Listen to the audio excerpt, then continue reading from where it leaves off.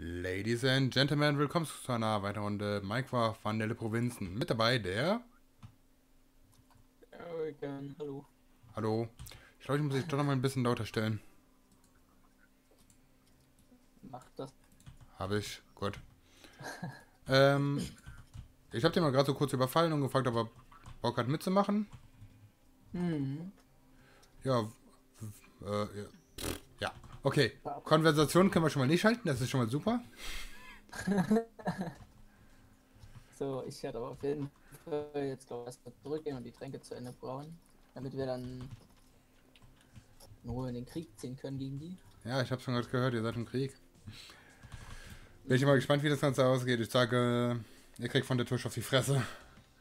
Naja, ich weiß, ich weiß, äh, wenn man so nimmt, er spielt zwar öfter, also was das jetzt angeht, so 1,10 oder 1,12, also das und, und kennt sich damit besser aus, was Tränke angeht. Aber Money-Step und ich kennen uns, was Taktik ausgeht, besser aus. Okay, man versteht gerade gar nichts mehr.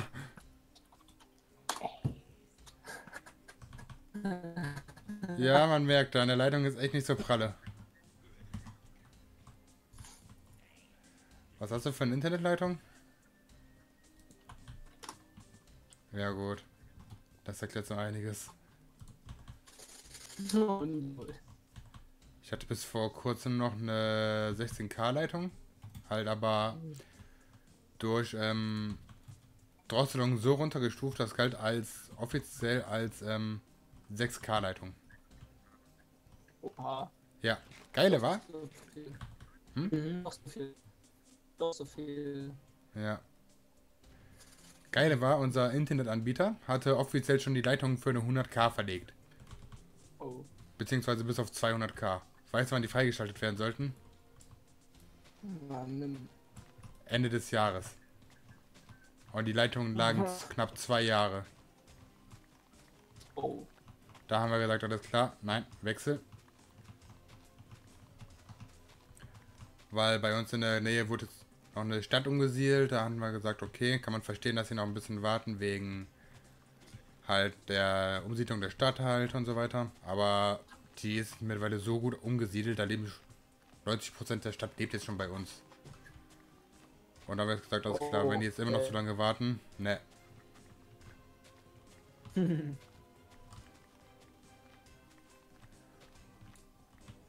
So, ich mache jetzt mal bei mir den Boden rein. Das wird auch nachher noch lustiger, alles, äh, alle Truhen so weit zu sortieren. Ich werde jetzt schon, dass ich so ziemlich für alles eine Truhe habe. Das müssen wir auch noch machen. Also für, äh, für alles. Also Alles klar. Du hast dich zwar gerade voll fett wie ein Roboter angehört, aber man hat es schon noch verstanden.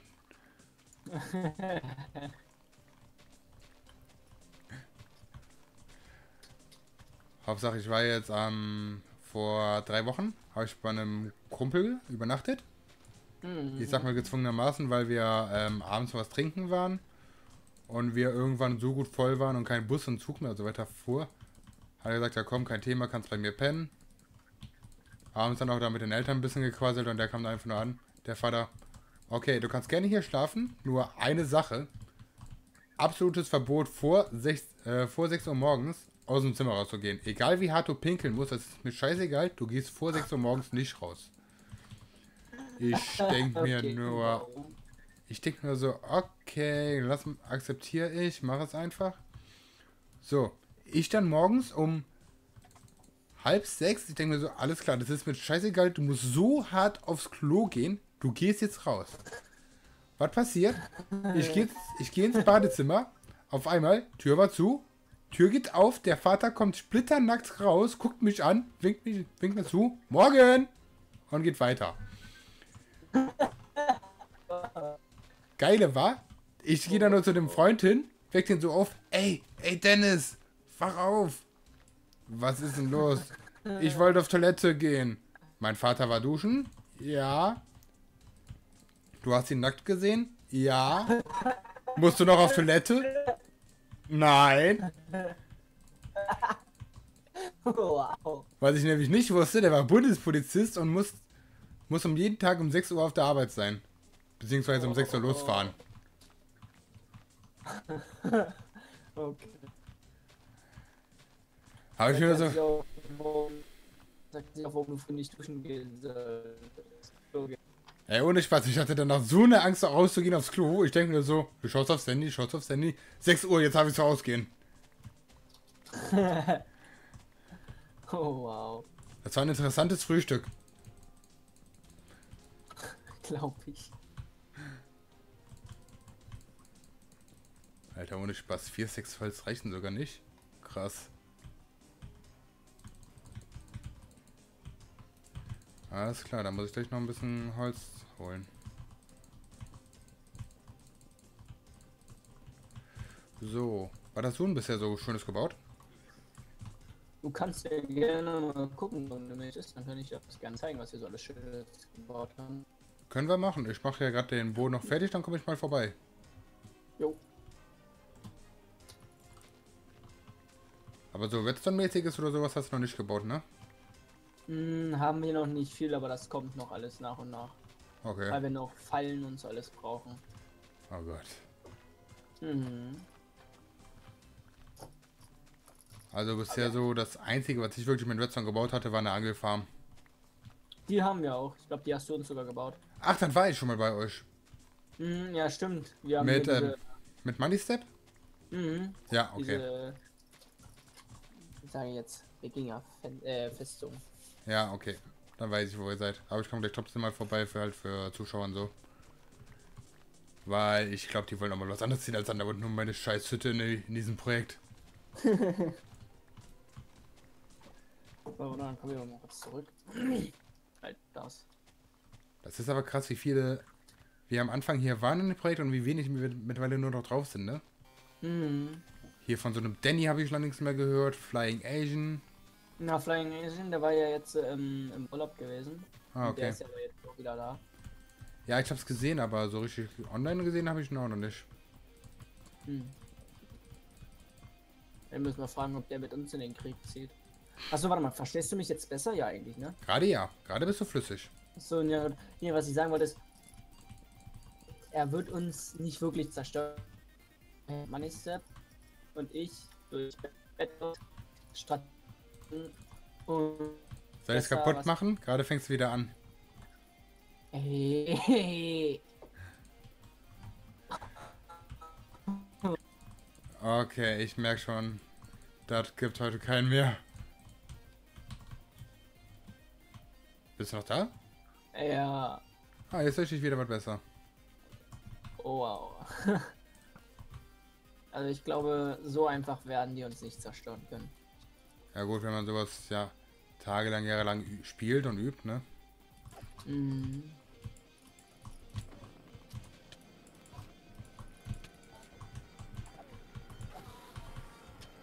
Wow. wenn sie anfangen zu spammen oder sonst was, Blöcke können wir schnell platzieren. Also,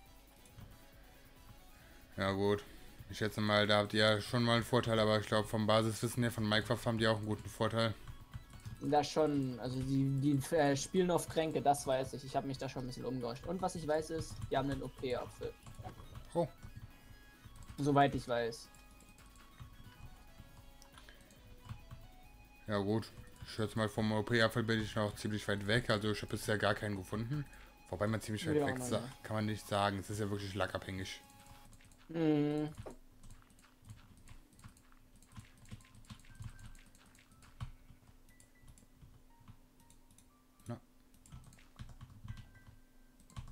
Das So, cool, ich mache auf jeden Mob my One-Hit mit Bogen.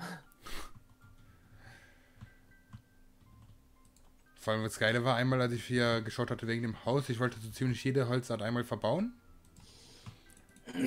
War ich ja auf der Suche nach einem Dschungelbiom, ne? Ich so am Suchen, am Suchen, am Suchen, finde nichts. Irgendwann so gefühlt 10.000 Blöcke entfernt, ich finde eins. Irgendwann später, ich gehe mal hinter meinem Haus ein paar Blümchen pflücken, auf einmal finde ich hinter meinem Haus ein Dschungelbiom. Wir haben bei uns auch in der Nähe viele. Also einige. Ja, mittlerweile habe ich jetzt alle Holzarten. Ich kann mir sogar relativ einfach jetzt Ocelots holen. Ja. Was willst du, dumme Spinne, von mir weg? Du, ha- du hast ja hier diese freie Fläche gesehen zwischen meinen beiden Räumen hier, ne? Ja. Ich schätze mal, da will ich so einen ganzen Bereich machen für meine Haustiere, für Papageien, Katzen, Hunde und für mein Lama.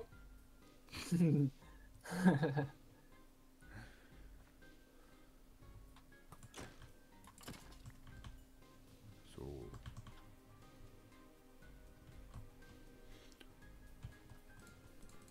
Aber was wir machen können, sind Unmengen an Goldäpfeln. Wir haben mehr als, wir haben knapp zwei Stacks Goldblöcke.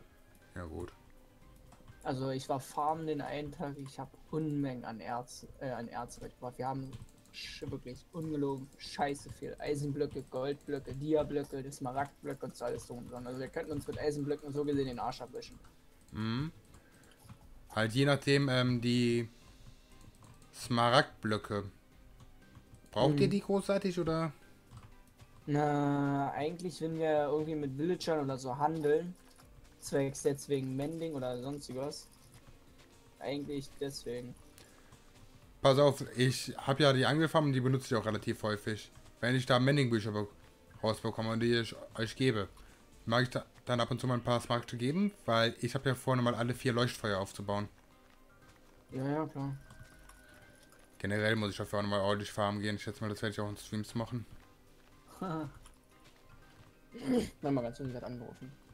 Jojo. Gut, dann kann ich hier alleine weiter plaudern. So, ich hoffe, das wird hier das Holz, finde ich, passt sogar super dazu. Einfach wegen diesem dunklen Boden.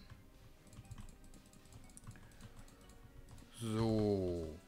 Generell werde ich dann schauen, vielleicht oben werde ich auf jeden Fall noch eine Etage reinhauen, aber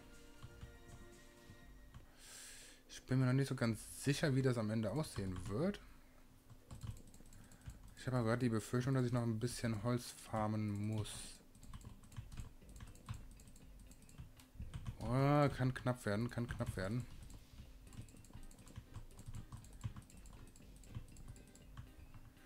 Es könnte klappen. Ich bin auch immer noch am überlegen, was ich als Dach nehmen soll hierfür. Ich weiß nicht, Scheiballen. Ja, komm, du. Du kannst mal schön weggehen. Oh, Enderman.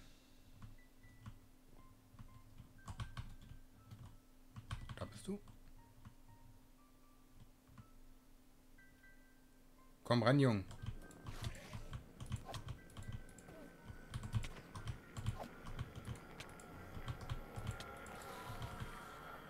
Jawoll. Schon wieder nur eine. Looting 3 bringt einen Haufen Scheiß gerade. So. Jetzt aber hier weiter. Die Schaufel ist sogar relativ egal, wenn sie kaputt geht. Da ist noch gar kein Mending drauf und so weiter.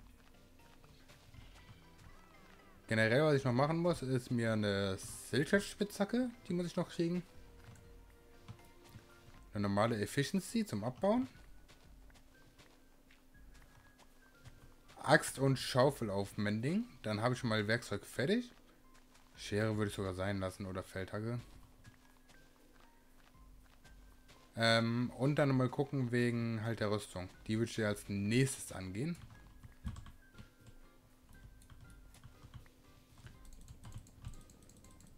Aber wie gesagt, das Farmen werde ich dann wahrscheinlich offscreen oder in Streams machen.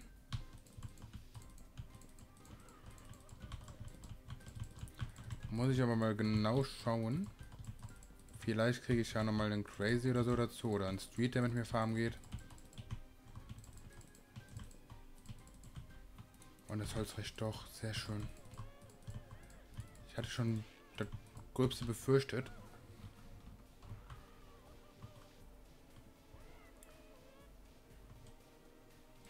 So, hier muss einer hin. Hier. Hier.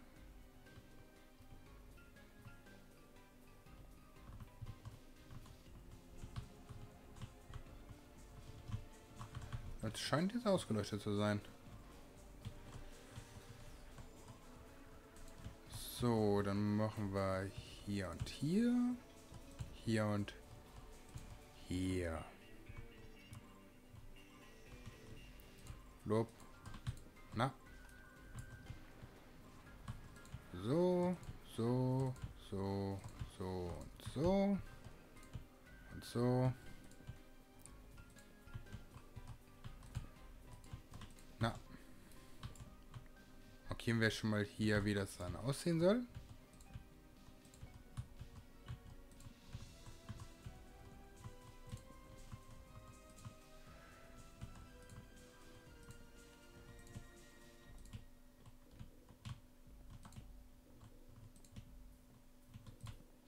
Sehr schön. Jo. Und dann würde ich sogar sagen, mach mal hier das dicht. Ja.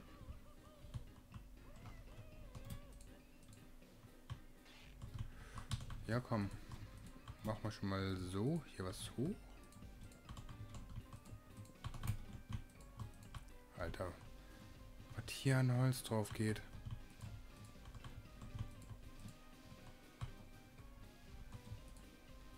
So, jetzt muss ich mal ganz, ganz kurz. Ich bitte zu entschuldigen.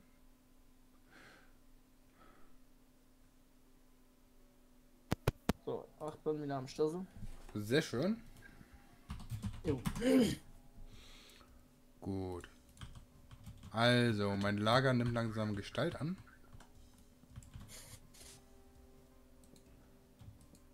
Und ich habe halt auch schon ein Gefühl, dass ich noch das größte Lager habe im Projekt.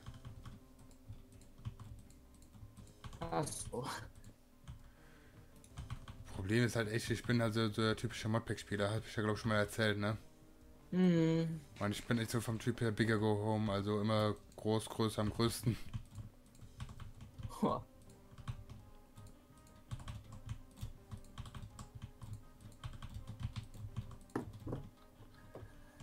So. Okay, mit der Ansage befinden wir uns bei dem jetzt im Krieg. Ja, jetzt bin ich mal gespannt. Mhm. Jetzt warte ich nur noch, dass die online kommen. Ich meine, die haben die Hunde von Money Step getötet, das waren mehr als 30 Stück, glaube ich, oder so. Also das waren Alter. richtige Hunde, Armada.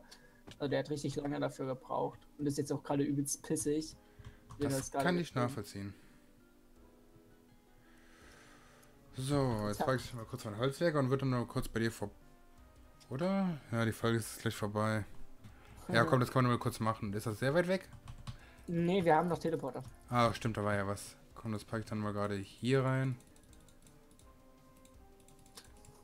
Ich bin direkt auf dem Marktplatz. Ich bin aber gerade noch unsichtbar, weil ich gerade noch. Ja, unsichtbar ist, bringt nichts mehr, ne? Wieso siehst du immer noch was oder was? Oh, du siehst den Namen noch. So, wo bist du am Marktplatz?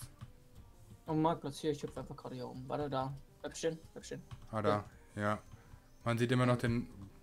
Man sieht den Namen und den Schleier. Oh, wow. Das findet ihr echt immer noch bad. Naja, gut.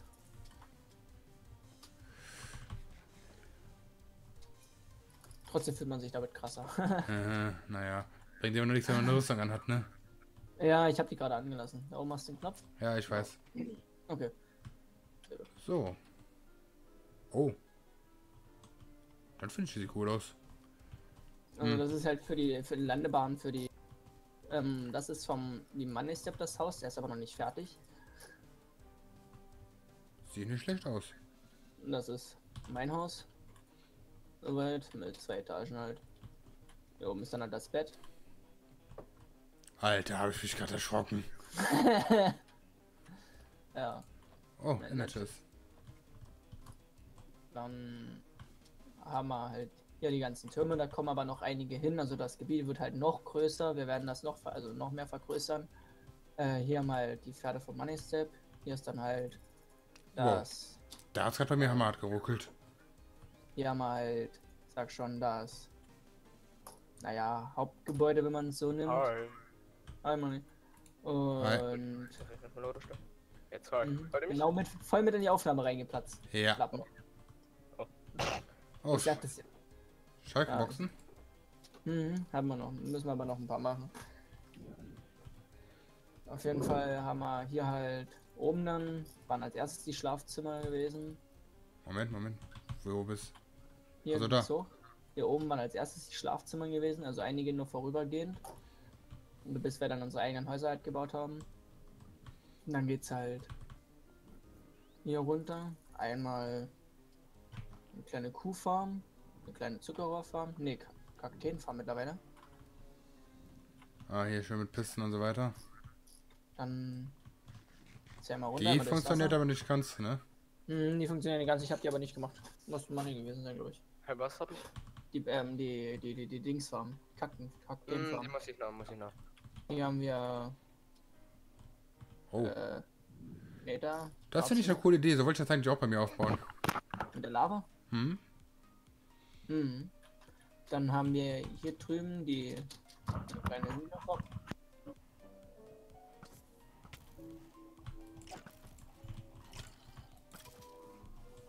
Und dann noch links. Und was haben wir hier? So eine kleine Pilzfarm dann noch drin. Also eine ganz kleine halt. Also, Und hier haben wir halt erstmal vorübergehend das Kistenlager, äh, Kistenlager und die halt Zuckerrohrfarm. So, das Gut, war's dann. Größtenteils war's das dann hier. ja, das kenne ich noch. Aua.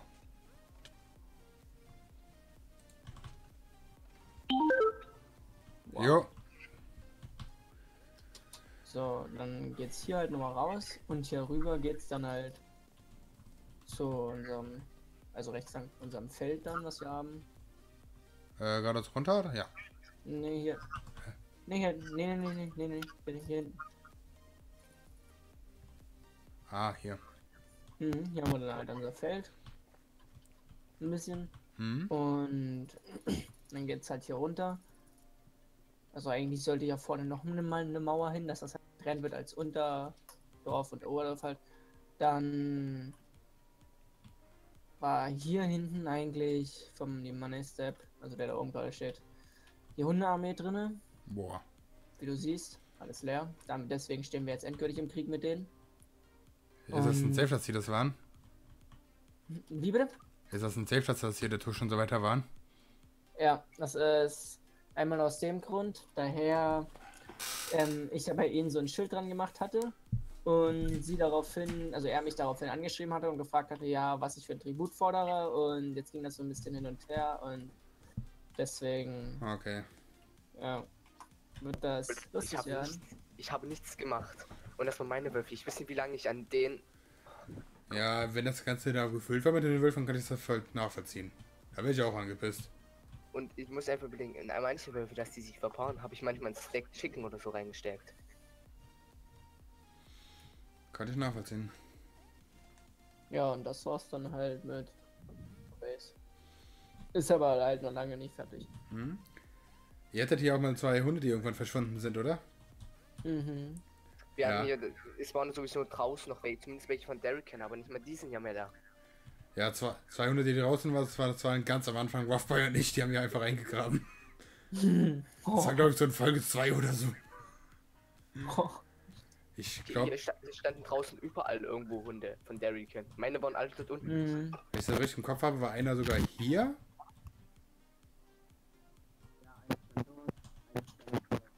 Alles Dein klar. Mikro. Okay, das geht gerade gar nicht klar. Der hat kaputtes Mikro. Ja, hört man. Und ich Ja, glaube, das war's so, dann jetzt von uns. Achso, ähm, übrigens, Manni, ich hab jetzt. hier war's. Ich meine aber, hier war auch noch einer.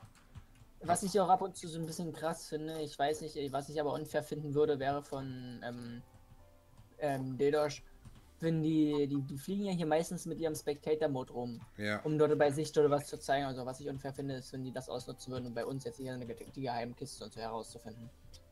Ja, gut. Das würde ich dann asozial finden. Also ich weiß halt von Crazy, dass er ab und zu mal hier ähm, Spectator-Mode rumfliegt, um generelle Leckquellen zu finden. Das weiß ich, aber mehr weiß ich auch nicht.